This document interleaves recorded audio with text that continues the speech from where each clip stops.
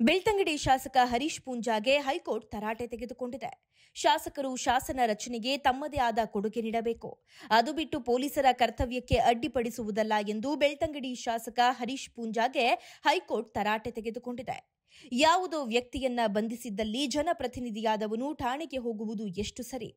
ಭಯೋತ್ಪಾದಕನನ್ನ ಪೊಲೀಸರು ಬಂಧಿಸುತ್ತಾರೆ ಎಂದಿಟ್ಟುಕೊಳ್ಳಿ.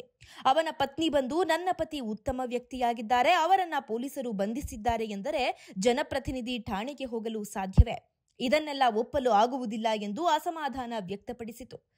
ಆರೋಪಿತರ ಪರವಾಗಿ ಭಾರತದ ಯಾವುದೇ ನ್ಯಾಯಾಲಯ, ವಿದೇಶ ನ್ಯಾಯಾಲಯಗಳು ಒಂದೇ ಒಂದು ಆದೇಶ ನೀಡಿರುವ ಉದಾಹರಣೆಯಿದೆಯೇ? ಇದ್ದರೆ ಸಲ್ಲಿಸಿ. ಅದರ ಆಧಾರದಲ್ಲಿ ವಿಚಾರಣೆಗೆ ಆದೇಶಿಸಲಾಗುವುದು ಎಂದು ಪೀಠ ತಿಳಿಸಿತು. ವಾದ ಆಲಿಸಿದ ನ್ಯಾಯಪೀಠ ಪೊಲೀಸರು ಯಾವುದೇ ವ್ಯಕ್ತಿಯನ್ನ ಬಂಧಿಸಿದಾಗ ಸ್ಥಳೀಯ ಮ್ಯಾಜಿಸ್ಟ್ರೇಟ್ ನ್ಯಾಯಾಲಯದ ಮೊರೆ ಹೋಗಬಹುದು. ಅಕ್ರಮ ಬಂಧನ ಮಾಡಿದ್ದಲ್ಲಿ ಹೇಬಿಯಸ್ ಕಾರ್ಪಸ್ ಅರ್ಜಿ ಸಲ್ಲಿಸಿ ಪರಿಹಾರ ಕಂಡುಕೊಳ್ಳಬಹುದು. ಅದೆಲ್ಲವನ್ನ ಬಿಟ್ಟು ಜನಪ್ರತಿನಿಧಿ ಎಂಬ ಕಾರಣಕ್ಕೆ ಠಾಣೆ ಮುಂದೆ ಪ್ರತಿಭಟಿಸುವುದು ಎಷ್ಟು ಸರಿ ಎಂದು ಖಾರವಾಗಿ ಪ್ರಶ್ನಿಸಿತು. ಪ್ರಕರಣ ಸಂಬಂಧ ಅರ್ಜಿಯಲ್ಲಿ ಪ್ರತಿವಾದಿಯಾದ ಬೆಳ್ತಂಗಡಿ ಠಾಣಾ ಪೊಲೀಸರಿಗೆ ನೋಟಿಸ್ ಜಾರಿಗೊಳಿಸಿತು. ಮುಂದಿನ ವಿಚಾರಣೆವರೆಗೆ ಸಮಾಧಾನದಿಂದ ಇರಿ.